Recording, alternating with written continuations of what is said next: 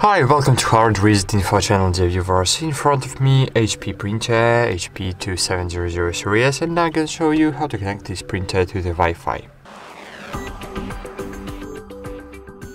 So first you need to connect your printer to your uh, computer using the USB cable. It's very important to do and this is the fastest and easiest way to connect your printer to the to the Wi-Fi.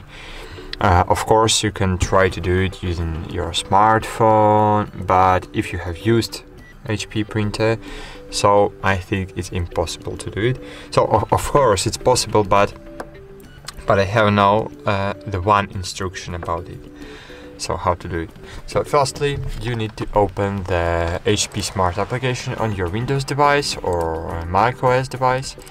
Click on your HP DeskJet device yes of course HP oh my god HP DeskJet it is is not too uh, so HP DeskJet, uh, HP Smart it's not too stable application but we need to try to click in in different places Okay, it has opened. Great.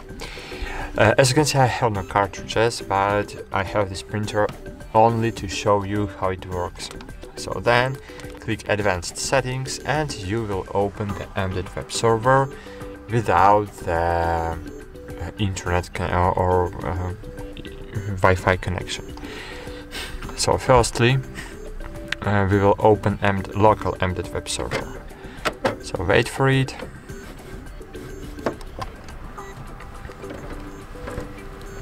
As you can see it works slow. Here we need to choose network.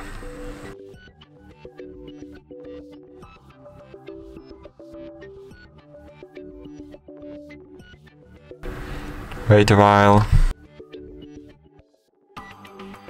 sometimes we need to refresh the page.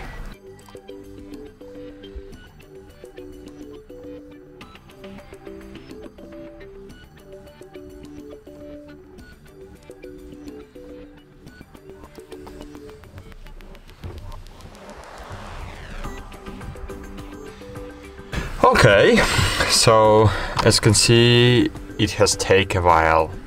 So, great. Oh my god, no, yes. So, uh, status not connect. Processing, wait a while. Great, cool. Um, now, click. Okay, printer is disconnected, enable the meld. The printer couldn't connect to the server. Of course it can't, because we need to connected to the OK web services. So we need to choose network here, network. Then click wireless and click wireless setup wizard. Click next. Now your printer will scan new Wi-Fi networks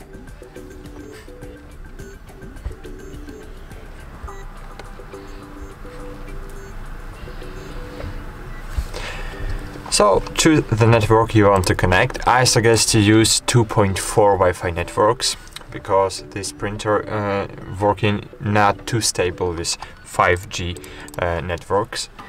Uh, so choose 2.4 Wi-Fi network and enter uh, or if you have hidden uh, hidden network you can uh, enter wireless network name and then uh, enter the password.